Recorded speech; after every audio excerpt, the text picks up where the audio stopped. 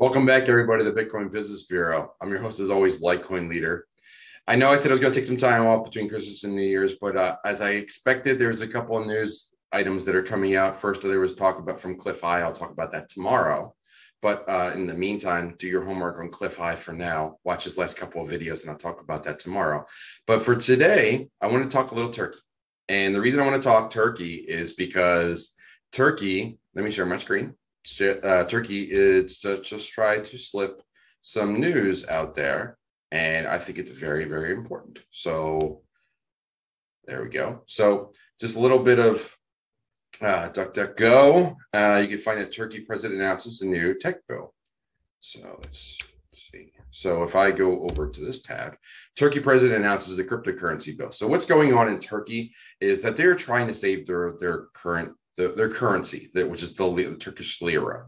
The lira has been having a lot of issues against the dollar of late, and they it's it's to the point where it's it needs something done. So what what they've done is they've done two things over in Turkey, and it's going to be significant. I'll tell I'll, I'll talk about that in a moment. But what Turkey has done, um, the president, I think it's Erdogan, is how you say it, uh, is uh, he's proposing a new uh, adoption of crypto that make it legal. If it's if crypto is not legal as tender or payments uh, in Turkey, but it can be viewed as an asset. So if that gets uh, approved, then you could see a lot of Turkish lira head into these other currencies. Because what's happening right now is that uh, Turkey's economy is is not doing well against the dollar, and people are looking for a hedge. They're you're not allowed to buy cryptocurrency, you're not allowed to buy you know allowed to buy Bitcoin yet but what people are doing is they're getting onto these exchanges and they're swapping lira for a, a stable coin uh, equivalent of, of the US dollar to try to get out of the Turkish economy. So, as you can imagine, that's wreaking some havoc with Turkey. So, what they've done, first thing that they did, and I'll share this video as well, but um, they they established a new currency policy. Well, basically, what they've done is they've essentially made a one year staking bill for liras. Uh, think of it as a CD, um, but basically what they're offering people is you get a thousand, you get 13% interest if you stake uh, lira. So what you do is you buy lira or you have lira, you buy this uh, instrument, call it a CD, and you get 13% of your liras back in three to 12 months.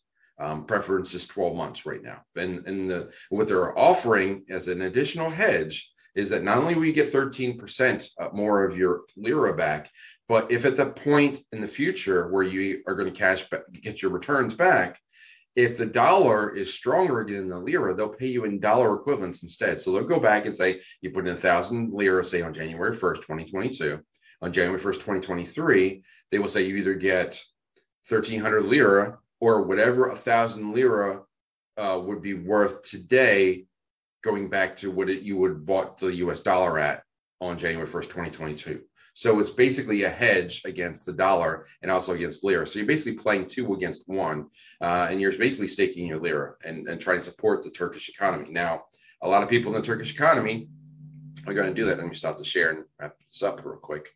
Um, but what a lot of people are going to do is they're going to take like their if they want to stay the money in the lira, especially companies. They'll stake their their lira, they'll, they'll put it there, they'll get that 13%, hoping that they they'll get paid back.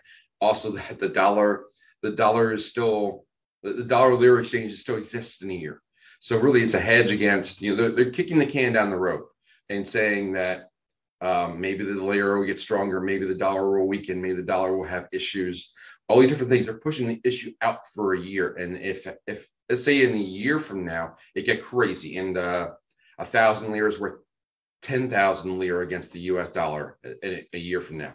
What the central bank will just do in, in, in Turkey, and what they don't want to do, what they're trying to avoid now, is they'll just print more lira, which will hyperinflate their economy. But they're trying to push this hyperinflation down the road by creating this, this debt instrument, this uh, hedge vehicle that they're creating, where you can buy, you can put the Turkish lira and get 13% or more uh, in US dollar terms because everybody knows in Turkey that they want the dollar over the Turkish lira because everything priced in lira is inflating at an incredible rate.